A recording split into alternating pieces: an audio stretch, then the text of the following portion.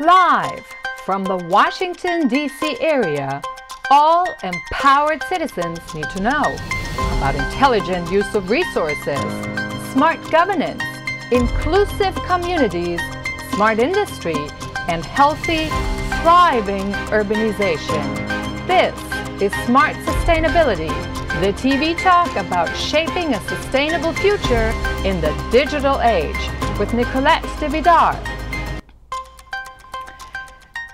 Undoubtedly, you've noticed we live in a new world. What does that mean for leadership?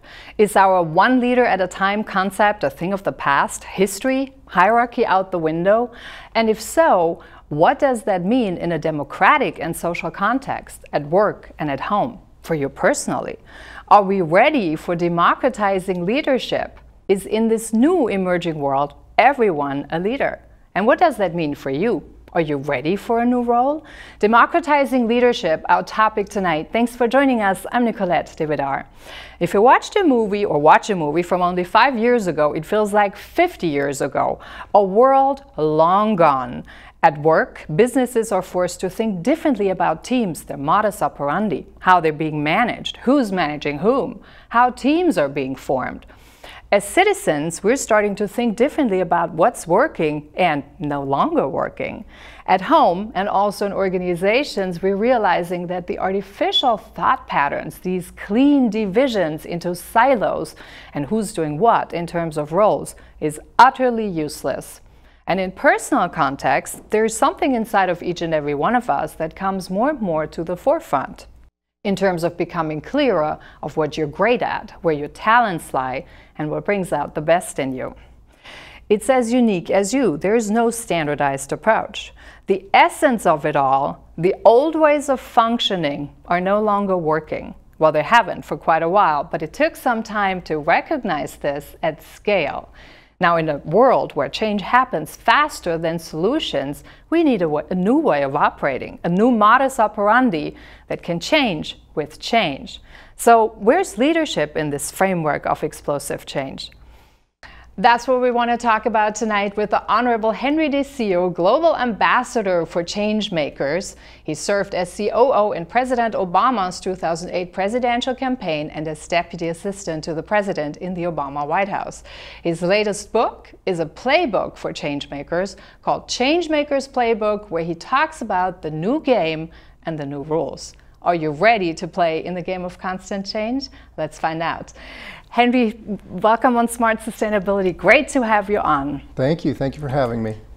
Your book is a fantastic read, and just to actually give you a heads up, if you haven't had a chance, go and find out. This is really a wonderful dive in in all the things that matter going forward, going into a new um, system. Now, we live in a time of I would like to call it, I mean, I know you call it explosive change. Mm. I used to call it exponential change. So it happens on all levels simultaneously, kind of in all different areas at once. And mm. I don't think we've really experienced this like this mm. before during history. So I'm very curious to hear about some of your experiences from the Obama lab mm. and how you started out. What were some key learning points when we were already in a new world, but nobody really had kind of recognized it yet. So to me, this sounded like you were like in the blueprint, the prototype of agile teams. Tell mm. us a little about, about from from your key insights. Mm. What did you learn during that time? What did you find out? Yeah, well, look, I think the the key thing is uh, my discoveries were at first in the headquarters, what I call uh, my own laboratory for discovering these new physics, mm-hmm. I didn't really understand what this meant for the world until you know quite a few years later after I left the White House. Mm-hmm. But when I came into the Obama campaign, you know, we had we grew up. I guess you'd say we, we grew up, you know, traditionally siloed and hierarchical. I don't know if we planned on that, but we did. I mean, he announced and Six weeks later, you know, we're opening up headquarters for the first time. Mm-hmm. So those elevator doors open. You, we, you know, have about 100 of us, you know, spilled out onto that 11th, you know, this huge 11th floor of a Chicago skyrise. And, you know, people tearing computers out of boxes and we're still trying to get the servers up. We've got checks coming in the mail. We're still scrambling to get those bank accounts open. We've got checks coming, we've got phone calls coming in to the reception desk uh, over off to the side, staffed by volunteers they don't know where to send the calls because we don't know each other's names yet and Right. those, the roster is shifting all the time so when you build the airplane in mid-flight Yeah. you get sort of people into their lanes. You know, someone gets the fuselage, someone gets the, uh, you know, the, um, the, the, you know, the cockpit, the wheels, so forth. And then what you have is a series for us, a series of silos that are strung together by these, uh, you know, by these silo leaders. We call them department heads. But we, uh, but we, you know, we come together every morning and we have a meeting of the silo leaders, and then we Yeah. take our, you know, we take the uh, information back to the silos, and and what happens is is that the silos get har- harder, Nicolette. You, we don't. We start out, um, you know, um, we, you know, you have the you have those tools that you need to to run your functional system. Uh, and then you find out that uh, you have this sort of sucking sound, sort of pulling you into your silo. For me, it was Henry. You know, can I can I open an office? Henry, can I hire new staff? You know, Henry, can we have some some uh, some money for uh, for spending? And so what happens is all of the silo leaders are being pulled down to the responsibilities of the silo when we needed a view out and across the organization. Now, the key thing was that as we got control of the organization, things then started picking up again. You have um, you have uh, the calendars getting faster. Uh, uh, we had a year for the first race, but then they start becoming even days till the next races. So that runway is shorter. You have um, you have um, a community that we've built around us that's now right on top of us. So we feel all the, you know, all the, you know, the pressures of our stakeholders right around us. And then you have, you're always a mistake away from a PR crisis. So we had to open up and let the organization move from one leader at a time to one lead, to everyone leading in every moment. And those were the that's the biggest lesson for me. And we can explore this a little bit. But the bottom line was that um, one leader at a time, siloed, hierarchical, hierarchical, people executing their skills inside the silo, people working fluidly across those old silos to pursue challenges and opportunities. Those were polar opposite systems, and that was that was my biggest discovery. So I'm envisioning hundred people coming out of the elevator, you know, full of enthusiasm, Mm. Yes. full of like charged and wanting to Yeah. Mm. do something. And then you probably didn't even have you didn't have clear roles or anything like this. So you, all you had was this tremendous resource in terms of energy and and and and pool. And I think we would probably describe this what it sounds like is like pure chaos. When you come all of these people seeing out of the elevator, it's pure chaos.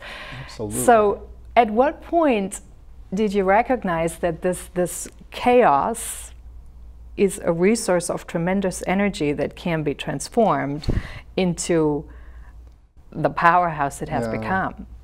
I mean, that might have been later. I mean, it, you're right. In those early days, it really is. Those are the days of hope and chaos. Yes. Um, you know, we, you know, we don't know each other. We don't know each other. We don't have, we have no rules, no norms, no cultural history to guide us. Right. Um, we are, you know, I think the elbows are a little bit sharp, you know, because we're all trying to sort of uh, find our place in this uh, in this setting. He gave us, um, he gave us, interestingly, he gave us three pieces of guidance very early that s- sort of set a cultural norm for the organization. Um, one was uh, build it from the bottom up. The second was respect everyone. And the third, which is the famous one, no drama. And I think those, I think those, those, uh, those pieces of guidance, you know, from build it from the bottom up, you start to have the formation, you have the foundation for that. Everyone stepping into their leadership kind of thinking.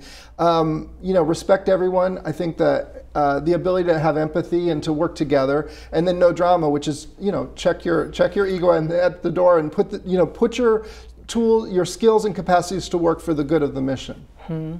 But that, that to me, though, so this is- really sounds to me like the, the, the prototype, what you've experienced is the prototype of self forming teams. So mm. there is a dynamic, obviously, that you've witnessed mm. that comes into place, which could be called, some call it the invisible hand. So when we actually let teams work mm. and let people work to the best of their abilities, there's a different dynamic that comes into place. And as you said, you mentioned before, as we got control of the organization. So, how much control was necessary, and how much control did you just go with the flow and things developed in a self, you know, self-developing, self-forming way? Right.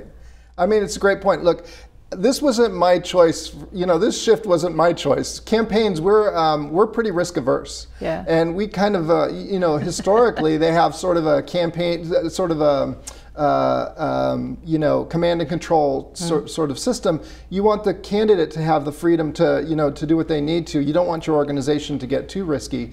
So, uh, so to your point though, um, as things started to move faster and faster, Mm. I think what happened was we were we were kind of forced into this. Now, on the one hand, we did have that cultural framework, but that also did mean that we started hiring people that could fit into that kind of framework. I think so. We had a we had a more um, agile individual that was yep. coming into our organization, yeah. and then I think as things just became, you know, we, it wasn't like we had a staff meeting and said we need to do this differently.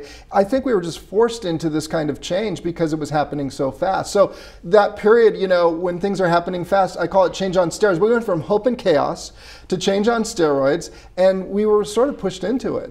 Yeah, but you know what I find really interesting, and I think mm. that's where so many lessons we can learn from is when you have the pressure you have the you know the time yeah. pressure the very time window everyone's in there it's kind of like you're all throwing in the water and you start to swim and everyone yeah. digs out like what's the rhythm they can swim with mm. where can they go with and things like that now contrast that mm. to regular organizations, hierarchy, vertical, mm. you know, top down, all these nice little elements in place.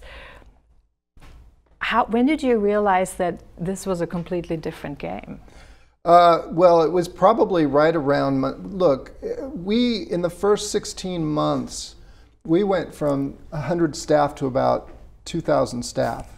And that the, alone, I find actually unbelievably it was, challenging. We had so, yeah, I mean, we, we, we, we went from a mom and pop shop yes. to Walmart in 21 months. I mean, we scaled into something really huge. Yeah. But in those first 16 months, zero, uh, 100 went from 100 to uh, 2,000 staff. In the last 16 weeks, we went from 2,000 to 6,000 staff.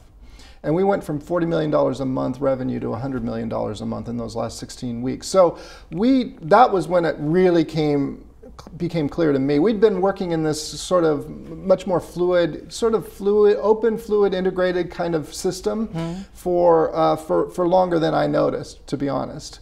Uh, but it really, I really woke up to it when I thought, wow, how are we going to scale? How are we going to take in all these other change makers? Yeah in this system that is uh, that is moving so fast and so fluid. From my point of view as the COO, I thought we were. I, I was certain I was. You know, we were going to lose this election um, on, on, on the organization at that point. We'd been, we'd been known, right, for our organization, innovative and disciplined, but I didn't see how we could scale that fast. So, on some level, that's when I realized that we were going to have to, on some level, we were going to have to help people into this organization as change makers, not try to control against it.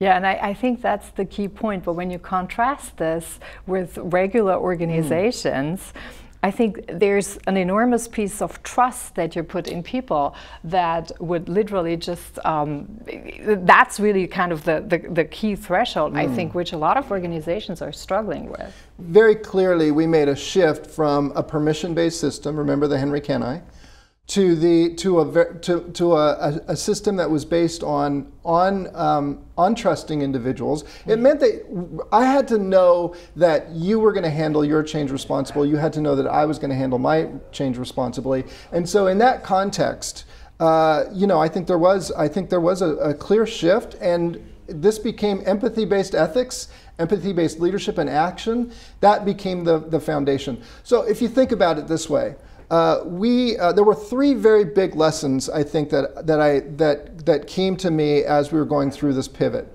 Uh, on the one hand, everyone had to step into their bigness. Hmm. Now, to your point, what do you mean by that? Everyone had to step into their bigness, oh, like in yeah. what they feel like they're best at, or just getting getting larger than they thought they could be. Yeah, I think people had to be more than their job titles and their job responsibilities. Right? right? You had to also be as big as your possibilities. Uh, and uh, the things that you could do even beyond your job description. And so that was a very key thing. In the old way of working, mm. uh, one person big, everyone else small in any moment, that hierarchical system. Mm. This, what we were trying to do, I mean, we were going against Hillary Clinton, who was a very well known, you know, uh, well funded brand in politics. Yeah. Then you have the Republican Party, which is also very uh, large. So we yeah. weren't going to do this by people staying inside their job descriptions. They were going to have to really um, have self permission mission to tear down walls and to and to expand uh, uh, the mission. The second big takeaway was mm-hmm. that innovation wasn't really, um, you know, people think of the Obama campaign as being innovative for our use of social media mm. or for technology, yeah. Yeah. but in fact, it wasn't the hottest, newest piece of technology that made the difference here. It was actually the ability of people to tear down walls yeah. and bring two or more sides together that wouldn't otherwise connect. And empower them to tear down the wall. What you said, I think, is really a key exactly. to not having to ask for permission, but knowing people knew that they could do it.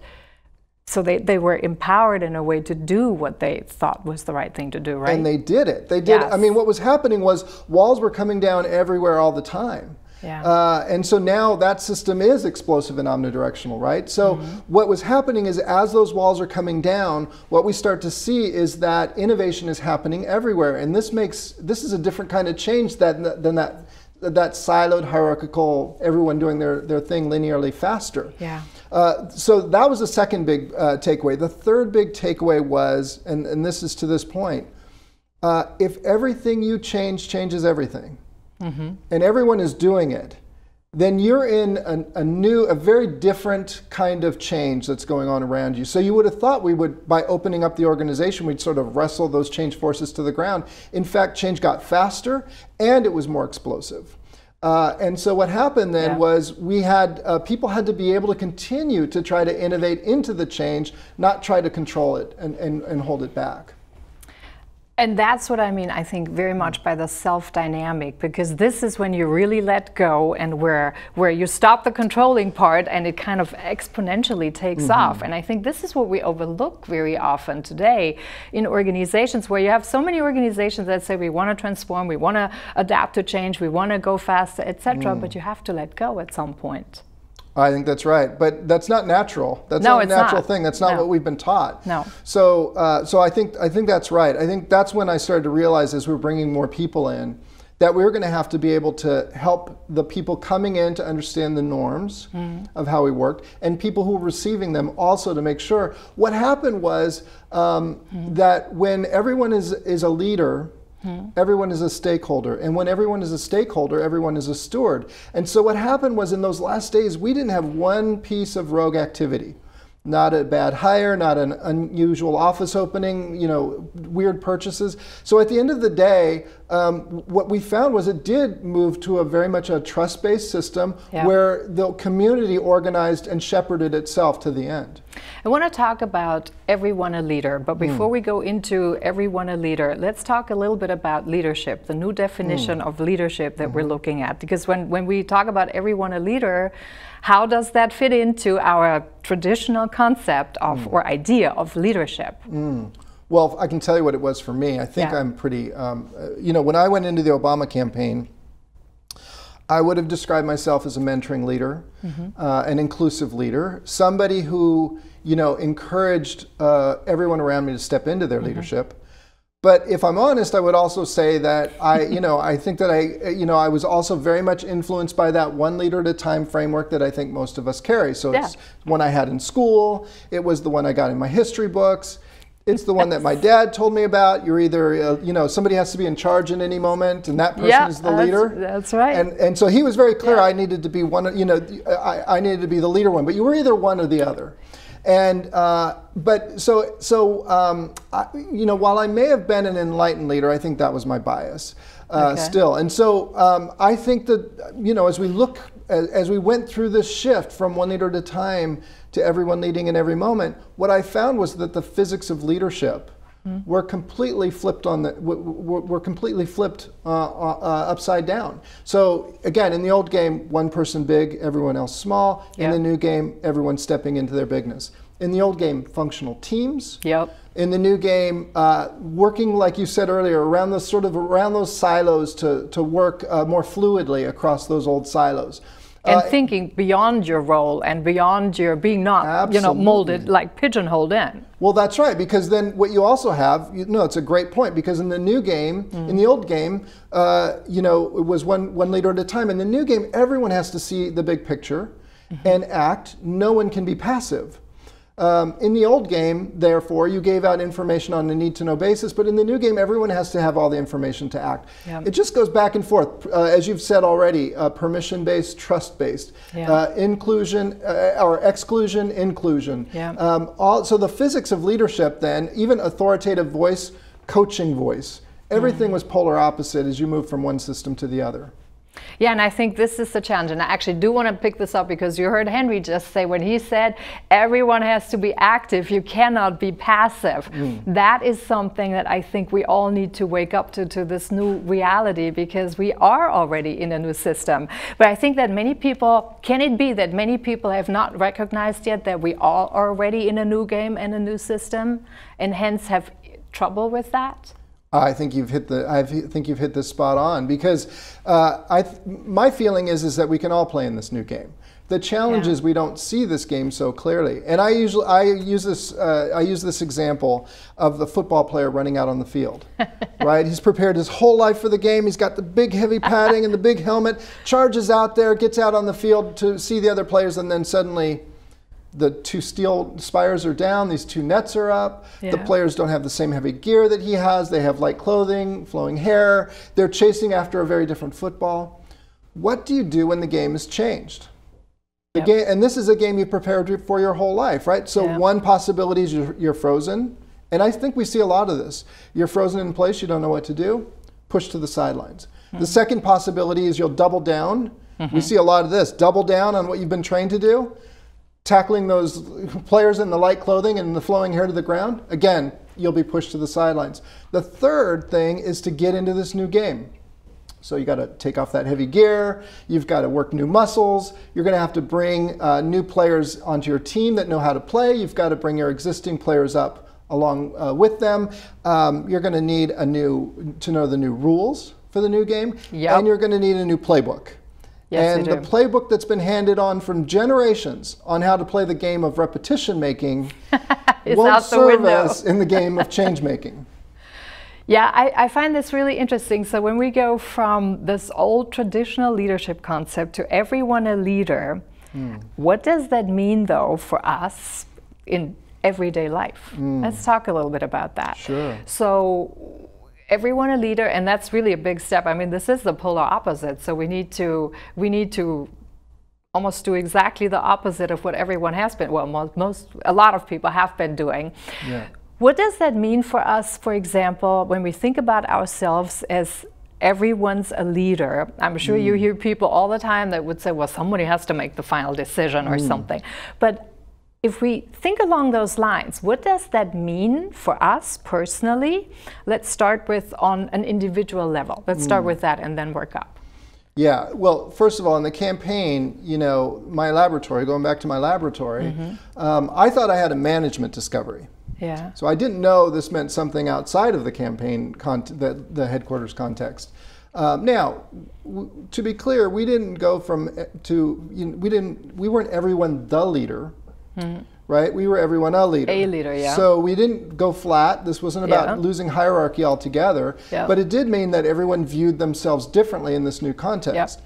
Now, as I came out into the world after the White House, two and a half years in the White House, um, fresh eyes, rested spirit, this new lens on leadership, what I discovered was was a surprise to me that the world had made a change. Um, really feel, felt like while during that time that I was away, but that same thing, that change maker effect, if everything you change changes everything, and everyone is doing it, that's what I saw in the world. We had rising individual agency. We had Yeah. these tools at our fingertips now, the, the tools of change that were once available to a few. Yeah. Uh, I could. I had my printing press. I had my, I could be a retailer in a moment. I could be a first responder. When I was a kid, you'd put a di- you know, dime in the uh, uh, payphone and, uh, you know, uh, emergency responders would come. Now I'm part of the first responder equation. And so what I realized was that the world now had made this pivot uh, to um, this shift into the changemaker effect, and that was affecting how all of us were living and working. And it mm-hmm. does mean that it means something very different for us as individuals now. Yeah, but I think that really re requires one important thing that we all recognize that everything is connected with everything. And I think this is also a big part of the how we see the new framework of the leadership. Mm. Like you said, there's this huge transparency. Everybody has to be like in the feedback loop all the time. You cannot right. just know like fragmented things, but you need to know all of this. But I think it also comes from understanding that when you see the big picture and you do like the big puzzle and you know when, mm. let's say like that, that there is a piece loose up here, for example, you know, then you know everything else might be affected by that. Right. In a positive sense, mm. you could also say if we change a little bit up here, then naturally, if we think about the big picture, everything else needs to change. But because we've been so siloed, and I think everyone has in mm -hmm. the mm-hmm. last, what, 100 years, yeah. um, it's really hard to look outside that, that little tunnel and see how these things are coming together. Are we not teaching in schools and things like that to think interconnected? Well, is this something we need to work on? I, I think it's it's it's essential in the new game. Mm-hmm. I can't I don't know if it's being in school if it's being you know if it's part of schools now or it's being left out. But I will say mm-hmm. this: it's um, it's a much bigger thing what you're bringing up than mm-hmm. what I think we've been oriented to. Mm-hmm. So uh, again, in the old game, again the polar opposite physics, uh, the leader would point the way. Mm-hmm. And, and expect people to follow those that 2020 vision to your point, in the new game, you have to have 360 vision. Yeah. You have to know how your change is affecting someone else's change, and I have to yeah. know that you're being responsible with your change, That's and right. you want to know that I'm being responsible with mine. So I yeah. think there is. I think there is. So that makes empathy now the foundational skill in this new game. The old soft skill is now the new hard skill. Um, yeah. And so I do think we have to do a lot more with our kids. Yeah in helping them understand and learn and master empathy at a very young age because that's going to be the cornerstone for how they live and work in this new system. Where, by the way, rulemakers can't keep up with the pace of change. I know that from my own experience in my campaign laboratory. Rule make, I like that. So I, I actually, I like breaking rules because it's just a natural, mm. you know, it's for some people, I guess it's just a natural part, more natural part of the DNA. Mm. So then you go a little bit easier with the flow. But I think if the last year, even with COVID, taught us anything, it's that mm. everyone has has a responsibility to step up the game a little bit and mm -hmm. think mm-hmm. about, well, how can I make things work without the, the, the milestones, the, the, the backdrop that we used to have and things like that. Mm. Is that the case? Yeah, well, I love, so going back to your example about kids, right? Mm -hmm. Uh, my, my kids are now 12, 13, and 12. But when they entered kindergarten, we knew that 65% of job types they would assume at year 12 or 16 didn't yet exist. Yep. Yet we still have them on an assembly line to everyone a vocation. So at year 12 or 16, you're going to graduate with skills to have a job. Right. The reality now is that kids need to have experiences that take them to everyone a change maker.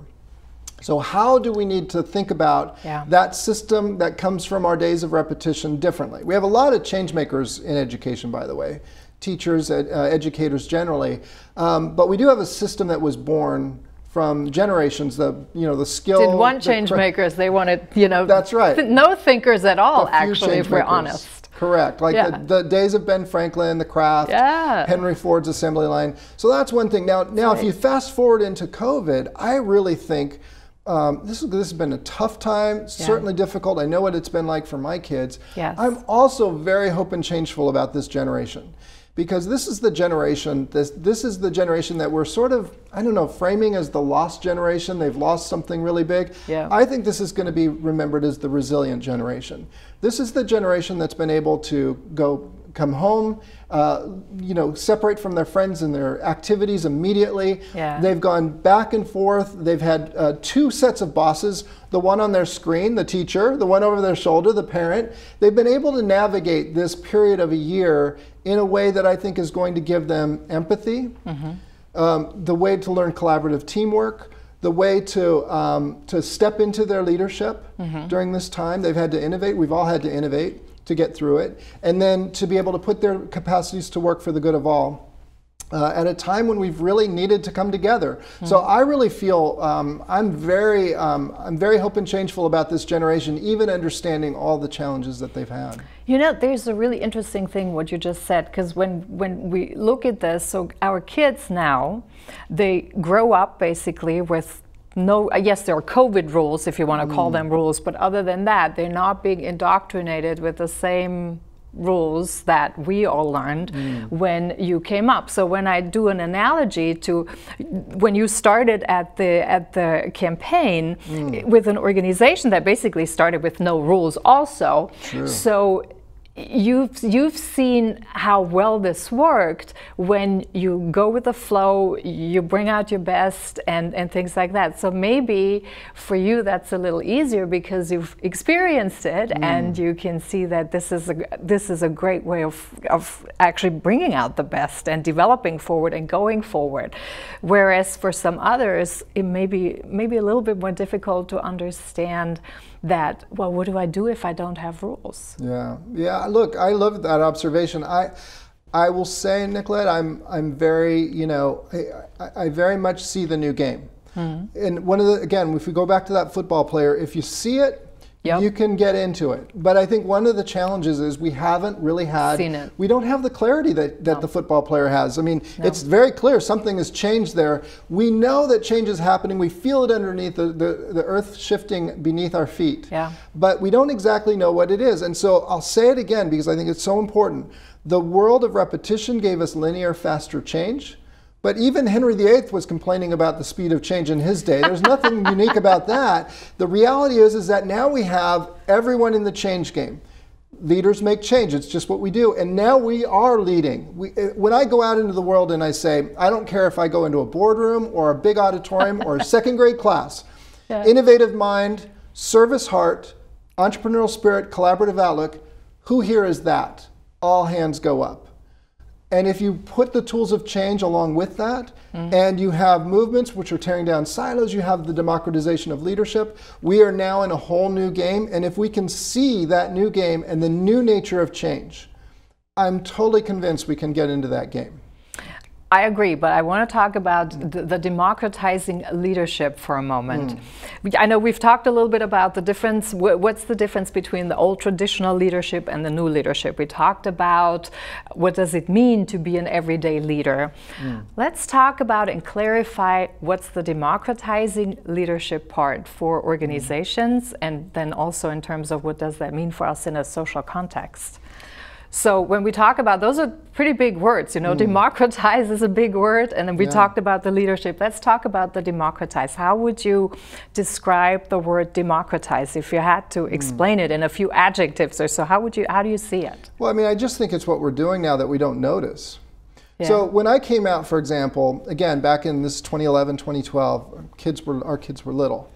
There was a game that was being played on the playground where I, I could see it every day it was happening. My wife could see it, other parents could see it. Mm. Um, kids running away from one, one or two particular kids, and it, it was, it was a, it, you know, it wasn't a healthy game. Mm-hmm. Um, now, you would say this, the principal is in charge of the school, the teacher might be in charge of the playground, whatever's going on, but the reality was that the parents saw it uh, got on email together and said, We've got to stop this. Everyone's talked to their kids. And the, the next day, the game was done. We never saw it again. The only thing we had to do then was tell the person in charge. Mm uh, what had happened and how we took care of it so that they could they could spot it in the future.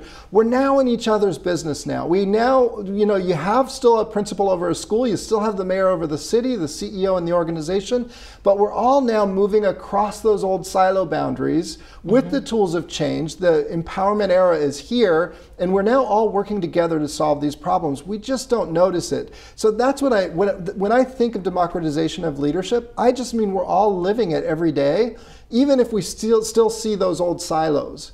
Uh, and and we're just uh, we're just working across those old silos to make the change, and then we're usually informing the leaders about what happened. Okay, so in a social context mm. and also in a democratic context, mm. for example, what does that look like? Are we then all decision makers in everyday life? Well, we uh, look. I I got here without any trouble. I used to be, you know, I used to be a disaster trying to get from point A to point B in my car. Now, you know, I have a GPS tool. I have. I don't have to get out a big map. I don't have to do all those things. Um, we're now used to being able to um, live our lives as change makers. Yeah. And now what that means is we need a system. We need systems that accommodate that. So we talked about the football player.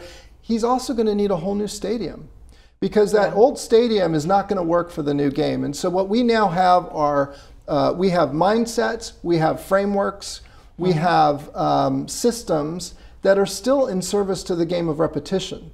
Yeah. And when a change maker comes to work, and they come to a siloed hierarchical organization that's they like putting a ti- that's right it's like putting a tiger in a cage right? right? so it doesn't work out very well and that was what happened for us we had change makers in our organization yeah. and uh, and we and they just kind of pushed us into this new game right so uh, I think as we see now a new generation that's coming in that is a change maker generation, it's the it's going to be the onus is going to be on our young people to change all the, the we got the change maker part now. It's the systems, the mindsets, the frameworks that help us play in this new game. That's what the new generation is going to contribute. But you mentioned three really important words. Mm. So we have to start thinking in terms of systems, something that we haven't done before. We mm. know now that there are ecosystems, and we know systems function differently from whatever this old construct construct was, yeah. that linear construct that yeah. we know is so artificial and so not usable for a nonlinear world. Mm. So we have to start thinking in terms of systems, we have to start thinking in terms of mindsets, we have to start thinking in terms of frameworks. Mm. Now, for normal people, how would you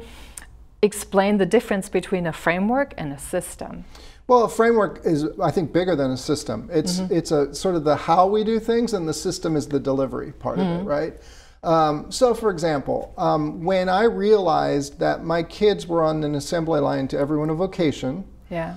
I knew that I was going to have to step up as a parent to help prepare them for this new game. Uh, now, I started looking at changemakers past and present. So, mm. Florence Nightingale, Abraham Lincoln, some of those folks. But I also looked at uh, some of the world leading social entrepreneurs I'd been working with at Ashoka for seven years. Yeah. Uh, the organization I worked with. And what I found was there were four common things that changemakers had in their learning that were important to prepare them for the new game. One was empathy. Mm. Uh, empathy before the age of seven, particularly children, that's when they're most open yeah. to learning. That's when adults can role model it. That's, yeah. by the way, what Florence Nightingale's mother did. It's what Abraham Lincoln's, both his mother and stepmother did. And yeah. so, modeling empathy, learning empathy at a young age. The second, so what could I do with my kids to help them have experiences to learn and, um, and master empathy. Then, as uh, so that was partly in school, but encouraging them in school to different things, but also mm-hmm. things that um, we did at home.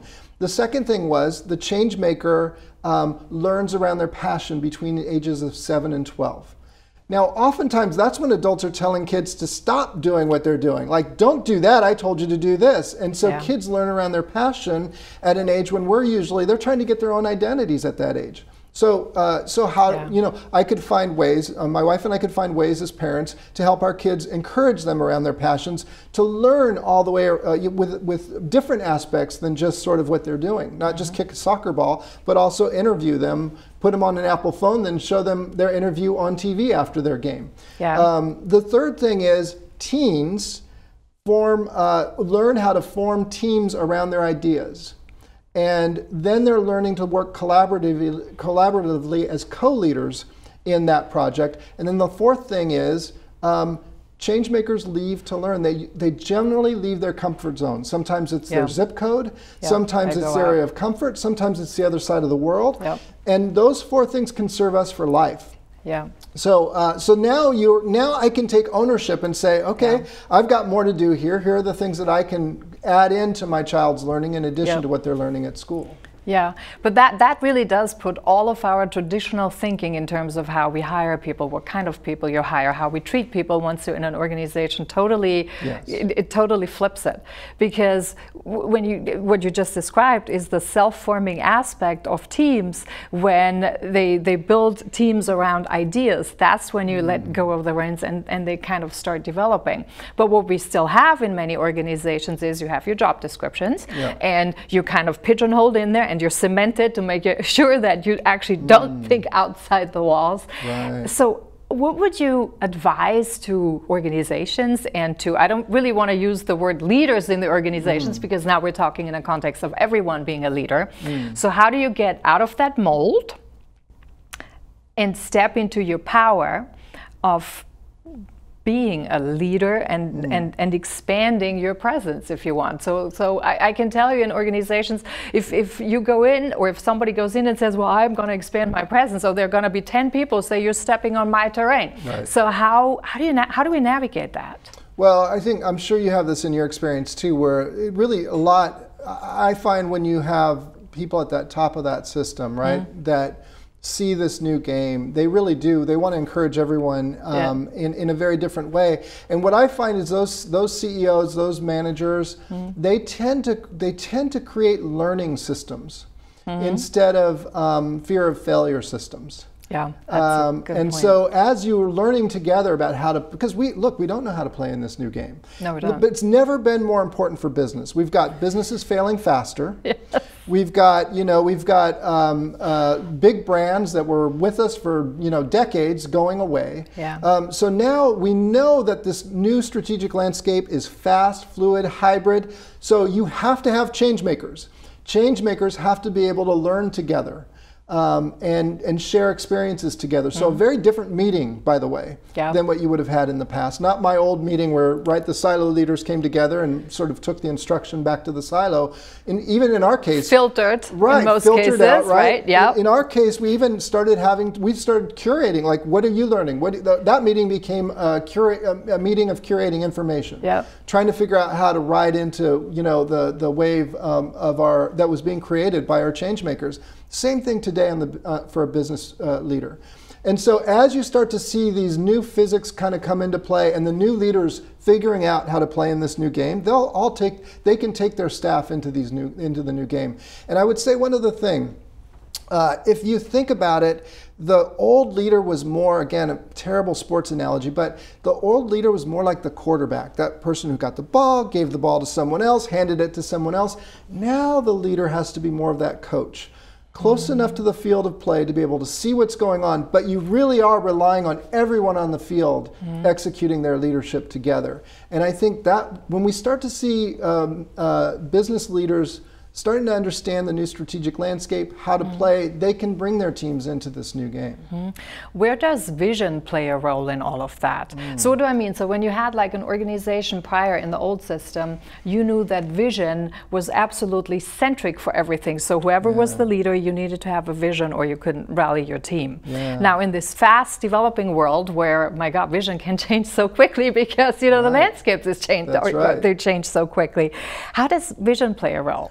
I mean, uh, for me, what I think was was helpful for us was that we saw change makers. We were interacting mm. with the universe of change makers, mm. and uh, and I think more and more um, stakeholders, keys, the the leaders are going to have to see that the stakeholders now uh, mm. are change makers, and you have to then build your organization to accommodate change makers mm-hmm. and change making. And so that so it's moved from vision to values because mm-hmm. change makers are, are motivated by values. And mm-hmm. so you've got to be able to align your values with the universe that's there. Mm-hmm. Um, and so what we find then is that um, if you're a teacher and you see change makers coming through your door and not students, how would you build it differently? If you are uh, parents and you see change makers in your household, uh, and not your kids? How would you build that system differently? If you're a business person and you see uh, changemakers coming through your doors and not customers, mm. how would you build that differently? Or a civic leader, if you see changemakers and not taxpayers, you would start building a more open, fluid, integrated system that allows for learning, that allows for uh, for people to step into their bigness together right. and and uh, pursue challenges and opportunities together. Let's define for a second who's a change maker. How would you mm. define a change maker? Who can consider him, themselves a change maker? How would you define that? Well, it's hard to define, but for me, again, I go back to that very initial sort of definition: innovative mind, yeah. service heart, entrepreneurial spirit, collaborative outlook. That is how we self-identify now. Mm. So if we self-identify uh, that way, and we have the tools that allow us to act in ways like never before, mm. the key is now to see that new game, to see that new universe, and then build your go back. We're going back to now framework change. Build yep. your systems, your frameworks, your mindsets to be able to accommodate that. But again, in the in this new, if you just take business for a minute, in this new world where a change is, uh, is explosive and omnidirectional, and that's your business strategic landscape, yeah. then the new KPI is how many of our people are change makers. Yep, I totally agree. And it's the same thing in my household. If, if I know right. that my, the world my kids are going into is a change maker world, then that's my KPI as well. Yeah, I, I, I, think I definitely think this is a very, very essential point. Now, you mentioned something earlier, which I want to pick up here for mm. a second. How do we start, in a civic sense, to to um, change uh. seeing a a well, see people as change makers, or see citizens, as you want, as mm. change makers versus taxpayers? Yeah. Now, that to me is a fundamental shift in thinking in a civic sense. Yes. How do we get there? Yeah, I, again, you got to see the new game and you've got to speak to that new game. We've got to talk about a world now mm. where problems are outpacing solutions. Mm. Uh, and we're going to need everybody to step into their bigness and come together around those problems and opportunities. Again, the requisite new leadership skill in this new game tearing down walls, bringing two or more sides together that wouldn't otherwise connect, that's when innovation happens. And so now, if you're a civic leader, you have to start moving into a space of moving people together around challenges and opportunities, showing where the, where the cha challenges are and, and helping people see that they can solve uh, big complex problems together like never before. Mm. And so it is really about activating people, harnessing people, I think you said earlier, mm. in harnessing that energy toward the good of all. Uh, mm-hmm. And that is that is the new responsibility for every civic leader now. And and you know it was hard because sometimes it's not just them. Sometimes it's like I gave you taxes, you just do my roads, right? so th- there are change makers in the civic space, but sometimes uh, our mindsets sort of hem us in. Yeah, they do. And I think those are the hardest to change is the mindsets mm. to start thinking about this. But I think if we go intentional, if we talk more about this and we're more intentional in terms of seeing everyone as a change yes. maker, and that means also that you understand that you're a change maker and not just wait for a leader at top to give mm. you some instructions, but get out of the reactive state into a creative state, that's when we actually collectively tap into this humongous pool of power that we haven't tapped into yet. Right, and that's so that goes right to the heart of the book, Changemaker Playbook. Yeah, it's literally story after story after story of everyday citizens seeing a challenge and then bringing people together around that challenge and not waiting. And so one example is Molly yeah. Barker. Molly Barker is a North Carolina mom mm-hmm. back in late 90s, and she believed that young women were being defined into what she called the girl box uh, by society before young girls uh, between 8 and uh, 12 years old had a chance to define themselves. Yeah. So she took 12 girls on a run. She had two things she wanted to do. One was mentor them, just help them get in touch with their emotions during this time this this time in their lives. Yeah. The second was to help them train for a, for a distance running uh, event. Yeah. And what happened then was uh, over the course of uh, that time together, that training period, the young women developed a sense of self, they developed a sense of their physical abilities, and then um, they had confidence as young women coming into this new world now here we are um, i don't know that's i think that organization started in 1998 here we are in 2021 more than 2 million women have gone through that program all over the world uh, uh certainly all over the country and different parts of the world. So this is now uh, somebody who was just an everyday mom who decided to step into her bigness do something for young women and now a whole generation of women have grown up happily outside of that girl box. Yeah, that which is absolutely wonderful. Now, you mentioned in your book something about framing or claim your own frame. So mm. here's what I want to get to. So when we think of ourselves as everyone is a leader, everyone is a change maker, mm. we live in a different framework. You define your frame. Obviously, you know, the the the the, the mom in North Carolina defined her game and her frame extremely yeah. well and it resonated with her purpose. Mm. What would you explain to people or advise to people how does someone claim their frame. Yeah, well, so we spent a lot of time on the, on this in the book, a whole chapter on that, because mm-hmm. uh, it is true that the world's leading change makers, so these are the most highly effective change makers, they yeah. place a very high premium on definition. Yeah. And I I was already in tune to this from go, again going back to my campaign. There was about four staff um, who were referred to as the travel bookers. Mm-hmm and that wasn't really a very glamorous title. Now the reality was is that they were for in the whole scheme of like if you even think hierarchical, they were at the very lowest rung of the lowest rungs. I mean, they were right on the front line and really handling the toughest challenges. Yeah. Probably four of the most innovative people in this whole campaign of 6,000 people that I was talking about.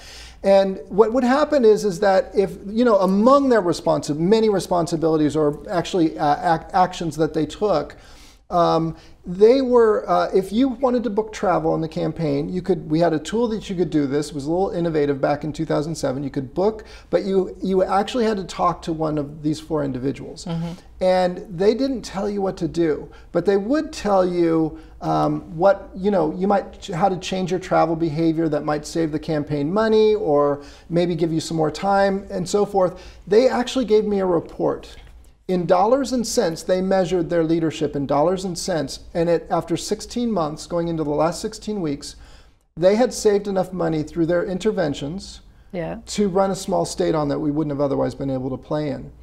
These were not travel bookers. These were people who were shaping the culture of our organization, gave us our frugal outlook, but also our innovative nature.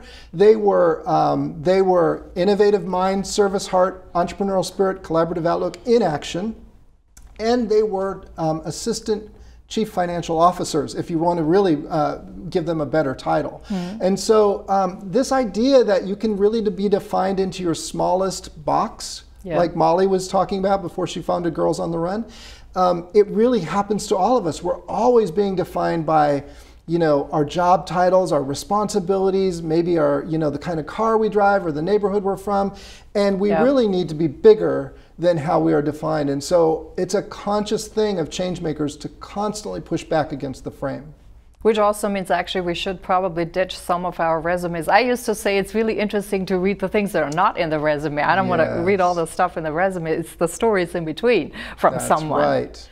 Oh, I totally agree with you. The resume is so old ah. game. Ah the titles and the labels Everything. and the measurements, all the old scoring it's from like, the old game. Exactly. Absolutely. Like this is your roadmap, and you know what you do with this roadmap? You toss it out. I 100% agree with you. Which is actually what, what. Let's talk a little bit. So we have about six minutes left. Yeah. I want to talk a little bit about the new rules and some of the old rules to ditch out. So if we yeah. kind of do it like some some of the ones that maybe right. we talk really about the resume one that really ditch it out. But yeah. but let's talk about what would you say what are old rules that just need to get off the shelf. Okay. All right, let's do this. You do one and then I'll do one and then, then we'll go back and forth. Okay. Do you want to start? Okay, well, I started with the resume. All right, um, that was a good one. Um, okay, let me let's see. The the resume is one. I would also actually I think we need to ditch the job descriptions. Yeah because I'm they are too much cementing people in holes versus yeah. actually centering, making a job centric around the person, who they are, and their talents, which of course means the person needs to really understand what they're good at and what their talents are and what their skills are. Right. I and like not that. take it defensive when they're being asked about, well, what are your skills? You know, yeah. you have to own your skills to claim your space. I'm with that. I'm with you on that. I think uh, I'll bounce off that a little bit too. I think the um, once a year evaluation by your supervisor has got to go. Oh yeah, absolutely. Um, Long overdue. Yeah, um, yeah. So okay, your turn. Go. Give, let's do one which, more round. Yeah, which means performance management. So performance management in general is kind of out the window too, because who's going to set the goals in a world that's constantly out of change? Mm. How are you mm. going to set the goals if you don't have ongoing conversations and right. give the person the room and the, the trust that they know what needs to be done and how to achieve a goal? Right. And then I would add to that, I think in I think information sharing has got to the the, the staff meeting has got to, to change. Yeah. From a sort of what will you do experience to what have we learned experience. Yeah. Because I think um, as we start to learn together and see the new strategic landscape together, we can then crowdsource ideas together into how to do that mm. as well. I, I, like that a lot. Now, I want to talk very briefly mm. about you. You call it the Changemaker Playbook. Mm. So the playbook has some rules, but not many rules. And you mentioned mm. when you started out in the in the 2008 campaign, there were three mm. rules, -hmm. and particularly, of course, the no drama, which makes a lot of sense. But as we mm. look at an office and a work to work day-to-day -work mm. environment, my, there's a lot of drama and gossip. I think the good thing in a new organization or a fresh organization is you don't you have less baggage. Right. How would you deal with that in an organization, you know, that's been decades or even older, maybe even 100 mm. years or so old, to to work around that? Because yeah. you know the, the, the, no drama becomes a lot more difficult in that world mm. versus in the in, in, in, in in an organization that has no baggage. Right. I think you're. I think you make a good point. I mean, yeah, and from your change management experience too, I'm sure you've seen it where, you know, organizations that try to change, um, it's it's very difficult when you have a lot of history too. Yeah. Um, but I, I also think um, at the end of the day, I think if you can really uh, frame the new environment mm-hmm. for your team and then really try to learn together, I, the biggest thing I think the, the thing I see them um, that's most effective in organizations that are trying to get into this new game is building a learning environment. Mm. And once you start to learn together, um, you start to, um, I think, move into flow together. Yeah, I, I, I totally. Now, I want to use the last few minutes here sure. and talk about something very, very important that I really would like to get for you know viewers who watch to get yeah. out there. Mm. How do we live power to the people mm-hmm. and self empowerment because I think they're they're like two components. So one is mm-hmm. we need to feel we need to empower people so you you feel that people are empowered to do things and one mm-hmm. is to self empower yourself to claim your space and mm-hmm. claim your frame and right. go for it. What would you advise to to people to do this? Yeah, but we're seeing it now happening even in just the last year or two. We've started to see how young people are ste stepping up, right? We're mm -hmm. starting to see how uh, we see it with uh, the Me Too movement, we see it with Black mm -hmm. Lives Matter movement. We're starting to see more and more that people, we're starting to now move into this new game what this is all about is we all want to be able to be on the same playing field together. It's about inclusion, it's about having systems that, and spaces that allow us to work together. Mm -hmm. And so I, I'm seeing now that, uh, that we're doing this as a society very quickly, we're moving this direction. But it also means that all of us have to really, again, break sort of the first walls you have to tear, tear down are those walls uh, in your head right? so so it really is about yeah. seeing the new game and knowing that I have to. No one can be passive. Everyone has to be active, and uh, and then when you the second part of this is I, I love this rule: uh, love and respect in action. Hmm. Change making ultimately is about love and respect in action. And so, how we come together around problems and opportunities together, I think, is where the opportunity is. Mm, that's really great. I, I, think this is this is really great. And I actually have another one to add. I think sure. what would be a good rule because we hear a lot of finger pointing and a lot mm. of complaining.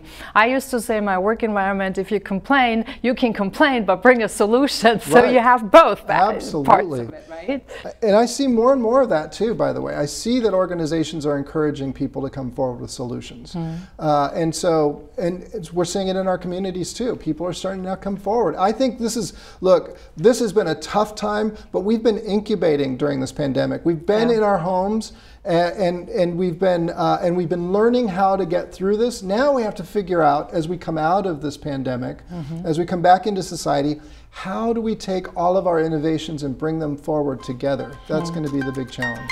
Yeah, and one final word for our mm. viewers. If you want to jolt them out of complacency and become more the change maker, what would you tell them? Oh, empathy, teamwork, new leadership, change making. That's the whole new formula. There you heard it. A whole lot and really a great ending. Thanks so much, Henry, for being on. Thank you so much for watching.